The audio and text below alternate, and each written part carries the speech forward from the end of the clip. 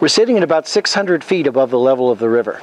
The openings in the cliff face, they're built into the cliff face behind me, are the uh, remnants of granaries, uh, grain storage bins that were built by ancestral Puebloan people about 950 years ago.